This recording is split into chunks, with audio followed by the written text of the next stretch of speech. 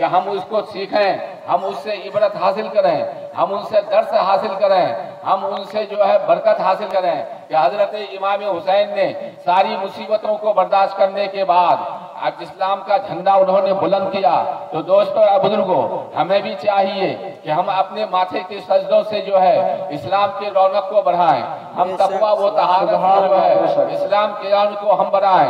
हम अपने अच्छे अखलाक हम अपने अच्छे किरदार से इस्लाम के उसूल और कानून पर हम अमल करके दुनिया वाले को हम सबक दें। ये शहादतें क्या है मेरे दोस्तों?